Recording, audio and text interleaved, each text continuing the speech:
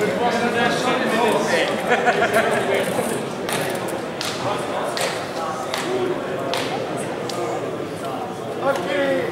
noch einmal z u e r l e s